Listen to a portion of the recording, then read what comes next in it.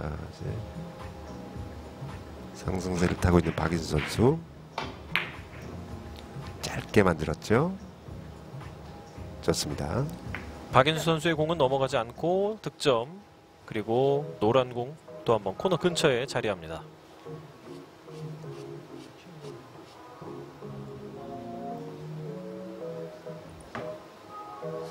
이 박인수 선수의 지금 같은 뒤로 돌려치기를 보면 크게 힘들이지 않고 또 많은 힘을 쓰지 않고 저렇게 득점시키는 것들이 굉장히 높은 수준의 그런 어,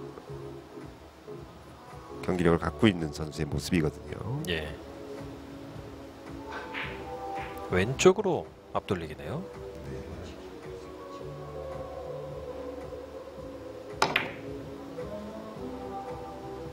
여기서 아래쪽 코너 여기서는요. 이용해서 역회전으로 도는데 네, 성공 득점됩니다. 네.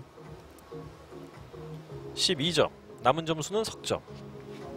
그럼 저희가 워낙 많이 나기 때문에 이제 4세트가 이런 식으로 박인 선수의 세트로 끝난다면 승부치기를 예상할 수 있겠네요. 네.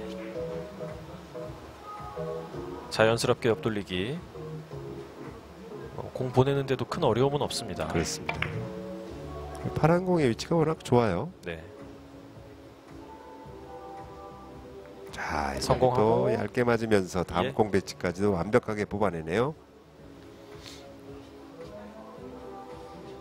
사실 이제 포지션을 하는데 일목적구 위치는 본인이 의도한 대로 만들어낼 수가 있습니다. 하지만 이목적구가 어떻게 맞느냐에 따라서 또 어려워질 수도 있고 쉬워질 수도 있는데 저렇게 일목적으로 완벽하게 갖다 놓으면 이목적구가 어느 쪽으로 맞더라도 훨씬 더 좋은 득점하기 쉬운 쪽으로 만들어낼 수 있는 확률이 크다는 거죠. 예. 이 당구가 어떻게 보면 확률의 게임이 아닌가 이런 생각이 들어요. 네.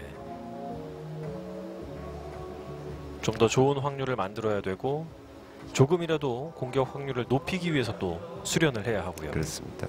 여러 가지 배치가 섰을 때도 조금 더 확률이 높은 쪽으로 이 공격을 유도를 하고요. 네. 나머지 1점이네요. 세트 포인트 이번엔 비껴치기입니다.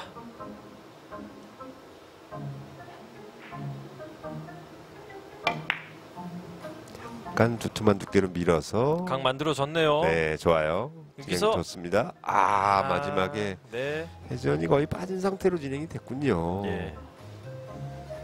자 저는 회전이 좀 살아있는 줄 알고 거의 됐다 싶었는데 네. 한 점을 남겨놓고 임태수 선수의